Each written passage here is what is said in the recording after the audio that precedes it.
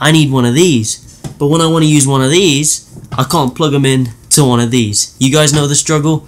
Well, listen, today we're here to forget about all that, and I'm going to show you the easiest and simplest solution to turn this into this. Without this, obviously.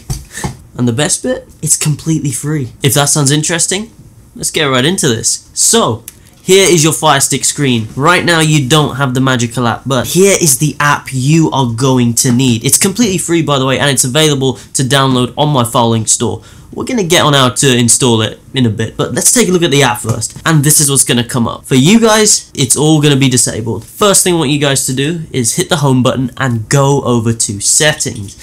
And then once you're in settings, scroll over to where it says My Fire TV and then scroll down to developer options. Now this, for most of you, will be turned off, like this. What I want you to go and do is go ahead and turn it on. If you do by chance have it on, turn it off and turn it back on. Then hit that home button again and head back into the mouse toggle app and boom, boom, it's gonna start and give it a few seconds, it should say starting and now back out of it. I want you to go into any app, any app that you've been struggling to navigate, any app that is just like, yo, I cannot, I cannot control it with these buttons. Bam, I've finally found an app that I can use. So I'm going to be going into VidMix here and look, yo, this app is so good for movies. Guys, look, you've featured movies, TV shows, latest movies, latest TV shows. I love this app. I did a tutorial on it last week. Go ahead and check that out after this if you do want to get movies, TV shows in HD. But we want to navigate this with our mouse toggle. We want to make it a little bit easier and it's super simple actually.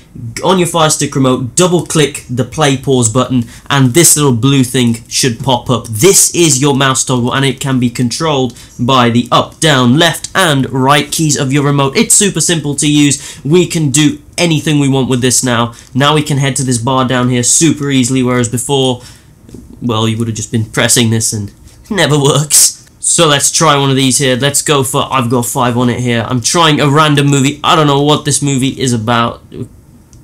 And there it is. As you can see, it's super easy to navigate this app. I don't want to show any movies because, uh, you know how YouTube is with the copyright. Shouldn't have said that either. Copyright these days. Copyright these days. Now I'm probably going to get demonetized. But now you guys are wondering, how do I install this bad boy of an app? Well, well, well, it's very simple actually all you want to do is just head over to your downloader app on Fire Stick or Fire TV obviously. Don't forget my Fire TV users. But if you don't have this app simply go to your Fire TV home click on search right here and actually type in downloader. You can even just type in DO Look, the Fire Stick's just that smart am I right? Right hit on downloader there right there and click on it. And for me it has already been installed but for you guys you'll just press install and install, and then open, and then you'll be welcome to this screen right here.